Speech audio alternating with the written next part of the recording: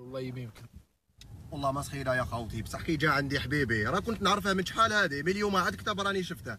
راه جا عندنا سبيسيالمون يشوفنا أنا وخويا ضياء. راك أنتيك حبيبي ضياء. راك غاية. الله يحفظك ما تكونش هذه آخر مرة إن شاء الله راهي ديما تشوفنا. خفتيني مازال مازال. مازال جديد إن شاء الله. فهمتي ولا؟ هالي الله يعاونكم. ركبنا في الطوموبيل؟ ويردنا ياسين بحال بحال الطائرة. اسمع اسمع.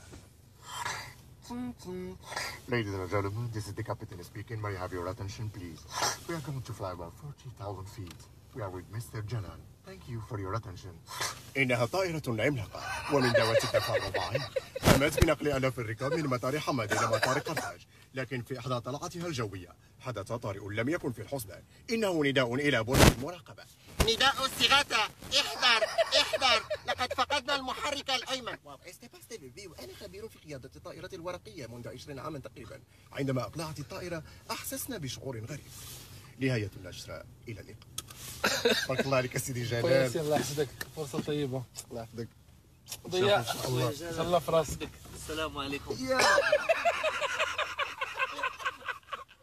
قول قول ياسين شنو؟ باقي لي.